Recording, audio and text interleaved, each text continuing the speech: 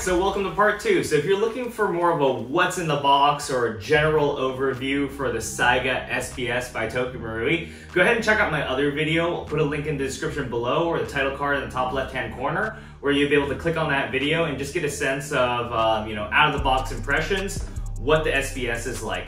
This video is more based around um, how does it actually perform on the field, things that you need to consider for a use case, um, as well as just answering the question that a lot of people are gonna probably asking me after we post this video is, hey, is the SBS going to replace the MWS as my primary? More to come on that later. So first and foremost, what I wanna go over is just the overall fit, function, and feel of the SBS. Um, have this kitted out, went over that in my previous video, so won't be covering that today. But really like one of the standout features as a gas blowback enthusiast, um, and this one really scratch, scratches that itch, is that this thing has a ton of recoil.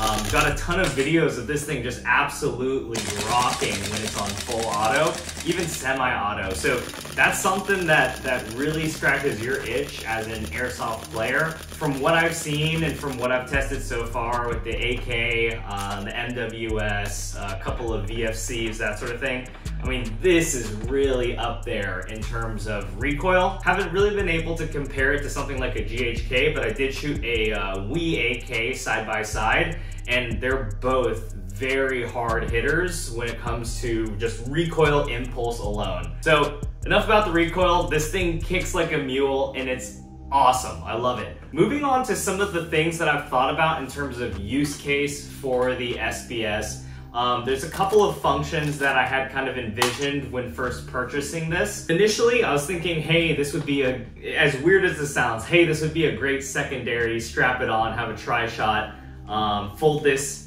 down like that, get one of the shorter magazines and figure out a way to mount it on the belt. Um, that would be one mean little package as a secondary. As time went on, uh, came to my senses, and realized it's probably not the greatest idea and it'd be very difficult to pull off as well. Um, so started looking at some additional options. So within our group, uh, one of the other guys picked up just a regular tri-shot Saiga um, from Tokyo Marui. Had a ton of fun with that thing and I was like, absolutely sold. And I realized that this thing is actually more accurate than you would imagine for a tri-shot.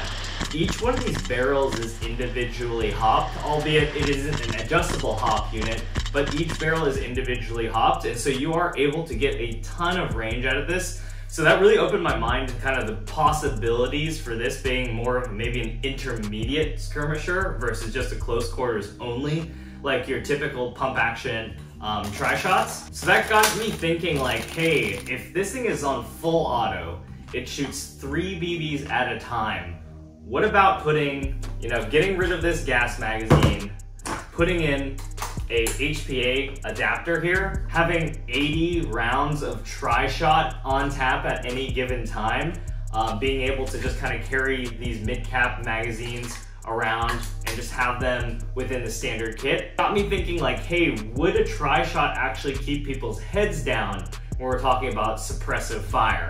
Because oftentimes You'll be around a corner, you'll be trying to lay cover fire on a corner, and they'll challenge peek you, and so you have to be on top of your game laying down heavy fire to keep their heads down. Let me tell you, this was an absolute beast during game day, and I wasn't on the receiving end, obviously, of my own rifle, but...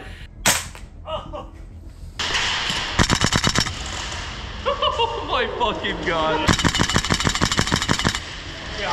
From initial impressions, it did seem like people were less likely to try to challenge you if they saw three BBs streaking across um, with tracer and flash. And it might be my bias confirming this, but it just seemed like a lot of people were not wanting to be on the receiving end of this, and that's exactly what I intended. So during game day, I really approached it with the mindset that, hey, this is going to be a squad support weapon. I know short package here, um, not really what you think, but it's pretty handy, easy to maneuver, easy to get into position, lay down cover fire, um, break contact, join back up with the squad, that sort of thing. The only problem with this use case though, even with HPA, I was absolutely tearing through my canister. Um, so this thing is a 90 cubic inch, 4,500 PSI. Um, I'm sure they make them bigger. This is about as large as I can fit within my map pack on the back of my plate carrier. Um, so I wouldn't really feel comfortable going much larger than this. After just two games, I think I was down to about a thousand PSI from the get-go. Um, it was going through just enormous amounts of BBs as well. Went through an entire bag of BLS BBs within two games. So this thing is very expensive to run if that's something that you want to do from a squad support standpoint. Also, the magazines are, are quite large. Covered a little bit of this in the previous video, but I'll, I'll recap it here. It's going to be difficult to take these 30 rounders, place them in a plate carrier, place them on your belt, and have enough for a good game. So just keep that in mind. Um, it's going to be pretty tough running around with a bunch of these huge, huge gas magazines just by comparison to like an M4 mag here. Um, I mean, couple inches difference. Obviously, it's thicker. It's just a very large magazine, so just keep that in mind if that's something that you want to use for a CQB environment as well. I really do think this thing is best suited with HPA, in my opinion. If you can get away with maybe three or four of these magazines on your plate carrier or on your chest rig and it works for you, um, you guys have short game modes. I think this would be a great CQB gun as well. Jury's still out. Um, I have some testing, more testing that I'll want to do with that use case, but from a squad support standpoint, really great, kind of expensive though. All right, so the moment you guys have been waiting for, is the SBS going to be replacing my MWS as my primary? Sadly, no. The SBS is definitely one of the most fun guns I've ever shot, and it's going to be in heavy rotation, don't get me wrong. Um, you'll probably see a lot more of this on the channel at moving forward.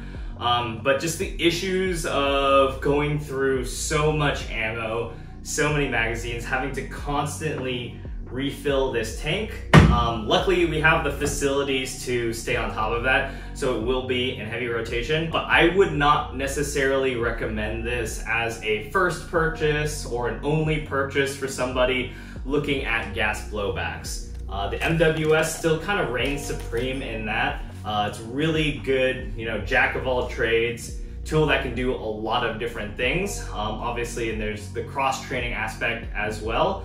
But the, uh, the SBS, it's definitely gonna be in heavy rotation. So you'll see a ton more of this on the channel. Really excited for what we're gonna be able to do um, with the Saiga SBS. So more to come on that front. So overall, would I recommend somebody going out uh, with their hard-earned money and purchasing a Saiga SBS? Look, if you've gone through my video, you've listened to a couple of the use cases, you've listened to a couple of the issues, and this is still something that's gonna work for you and your field, I could not hesitate and recommend this to somebody if those use cases fit exactly um, how your playstyle is, the field limits, all of those different things. However, hey, if you need a one gun kind of fits all, uh, you don't have the ability to, you know, have as many gas blowbacks um, the MWS I still think is one of the best platforms to pick up, as well as the AK MWS. That's a great platform as well. So I'd stick to those. If the use case fits or you have the ability to own multiple gas blowbacks for different types of environments, could not recommend the SBS enough. It is a really, really fun gas blowback. Um, and there's just a ton of people and their reactions. My fucking god.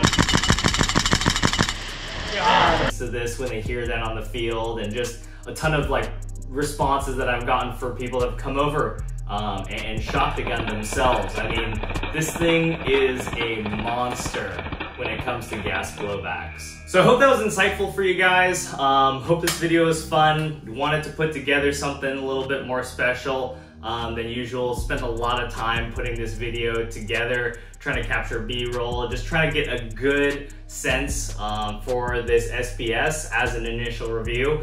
There'll be a long-term review coming up uh, in the next year or so.